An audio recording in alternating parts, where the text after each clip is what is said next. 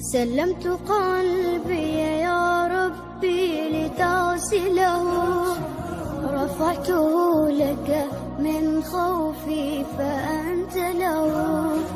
تعبت مني فكم أسرفت أتعبه. وعدت نحوك.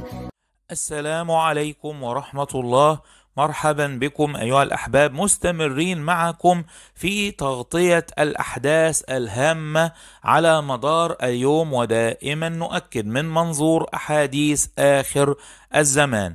إيه اللي بيحصل في السعودية وفي السودان والكارثة الكبرى لقطر؟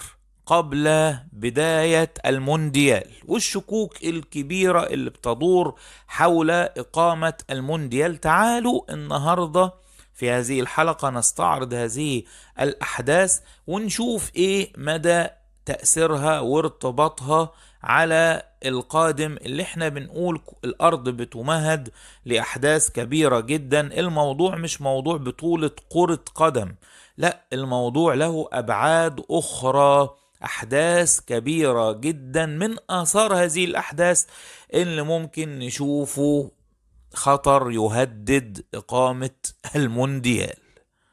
طبعا في البداية إحنا بننقل لكم أخبار وملناش يعني اهتمام إن يقام كأس العالم أو لا يقام. إحنا بنديك الأبعاد والآثار الأخطر والأبعد من الموضوع بتاع مونديال كرة قدم. العاصمة باريس بتقود حملة كبيرة جدا لمقاطعة المونديال. بس المقاطعة هنا المقصودة المقاطعة الإعلامية لأن في ناس فاهمة أن فرنسا مش هتشارك في البطولة. الضغط الأكبر المقاطعة الإعلامية. العاصمة باريس تنضم لأربع مدن فرنسية كبرى في مقاطعة كأس العالم في قطر.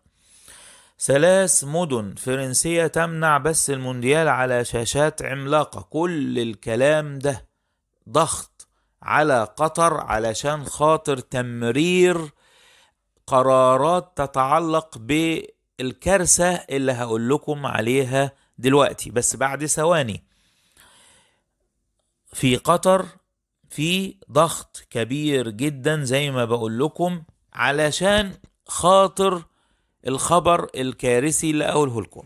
قطر بتوافق على دخول الخمور والشواذ أثناء كأس العالم. طبعا دي مصيبة كبيرة جدا جدا.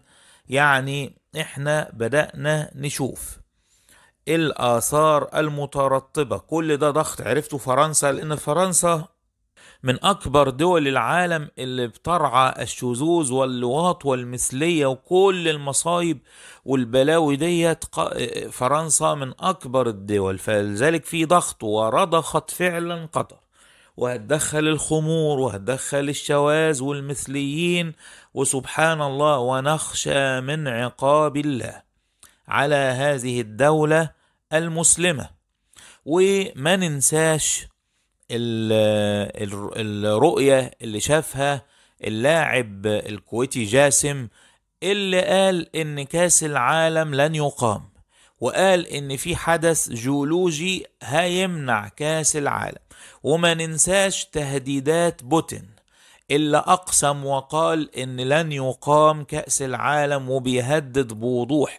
كل الأمور دي بتجعل احتمالات إقامة كأس العالم في خطر. طبعا إحنا لا نعلم هل سيقام أم لا لأن ذلك في علم الغيب ونحن لا نعلم الغيب. يعني في ناس للأسف بتاخد خدت رؤية اللعيب الكويتي اللي قال لن تقام كأنها قرآن وناس شافت رؤى اللي هي لن تقام والرؤية لا يقام عليها حكم شرعي يعني في الواقع يبنى عليه. يعني ما ينفعش واحد يقول لك أنا شفت رؤية اللي هي لن تقام. اذا لن تقام. كلام ده مش مظبوط على يعني لو تسألوني عن وجهة نظري في موضوع مونديال قطر ده أرى إن الناس الشعب القطري والمسؤولين في قطر بيعتبروا إقامة البطولة دي حياة أو موت ومش عارف إيه السبب وإيه اللي هيضيف ليهم كدولة في هذا الأمر لأن من الناحية الاقتصادية لازم تعرف إن تم إهدار مال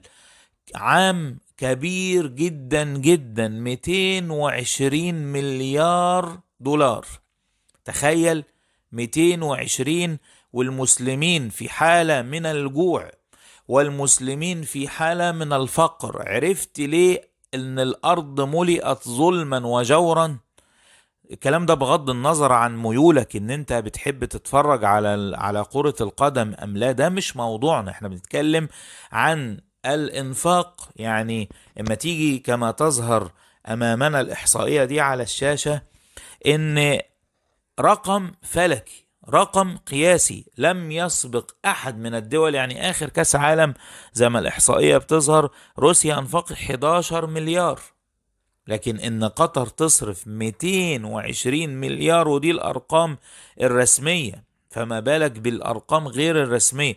فإنفاق هذا المال ده إحنا بنعتبره من باب السفه وبنعتبره من باب إنفاق المال في غير موضعه ونخشى من عقاب الله ليه؟ إنفاق مال بغير بغير يعني وجه حق وإدخال الشذوذ والمثليين علشان يشجعوا. وإدخال الخمور كل الأمور دي تجلب سخط الله ونخشى. أن يكون عقاب دولة مسلمة على يد يعني أسباب أرضية زي مثلا روسيا اللي بتهدد إن هي تضرب قطر وتهد المونديال وتبوظ هذه المناسبة. طبعا عدم إقامة كأس العالم أو إلغاؤه لو اشتعلت حرب عالمية كبرى ما بين الدول ده بيديك مؤشر وبيلفت نظر العالم كله إن إحنا في أحداث غير اعتيادية وهيخليك تقرب أكتر من فكرة علامات آخر الزمان واقتراب ظهور الإمام المهدي واقتراب الملاحم التي تسبق ظهور الإمام المهدي. عرفت ليه إحنا مهتمين بالموضوع ده؟ إحنا مش مهتمين بيه من ناحية كرة قدم. إحنا مهتمين بيه من ناحية إن هو هيبقى حدث.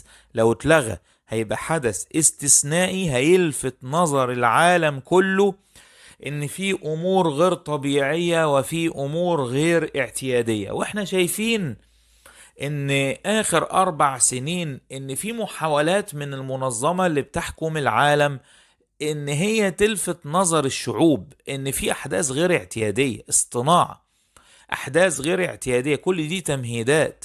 الفيروس اياه كان لجلب ولفت نظر الناس إن في أحداث غير اعتيادية. وأول ما يعني فشلت هذه المحاولات وأنا شرحت ليه لأن الآيات أو الجنود الربانية تدخلوا في الوقت المناسب وإلا كانت هتحدث كارثة. وارجعوا للحلقات السابقة اللي أنا اتكلمت فيها. فلما فشلت هذه المحاولات بدأ السيناريو البديل الحرب العالمية الثالثة بين قوسين النووية. ووجهة نظري أرى إن المنظمة اللي بتحكم العالم لو هتحط سيناريو قريب هيبقى للأسف أحداث أثناء كأس العالم مش هقول قبل. يعني أنا بقول لو في حاجة حصلت والله أعلم وده علم للغيب وأنا لا أتنبأ يعني. لو في أحداث حصلت هتبقى هذه الأحداث أثناء كاس العالم مش هتبقى قبل كاس العالم زي ما ناس كتير متوقعين إنها لا ده كل ممكن يبدأوا ويشتغلوا ويحصل حاجة في وسط هذه البطولة وأنا لا أتنبأ وبقول يعني العلم لله وهذه رؤيتي. يعني ودايما بنقول العلم عند الله سبحانه وتعالى وحده. بارك الله فيكم أيها الأحباب انتظرونا بإذن الله بعد قليل حلقة هامة جدا شخصية من شخصيات آخر الزمان يوشك أن تظهر. انتظرونا بارك الله فيكم. سلام الله عليكم ورحمته وبركاته.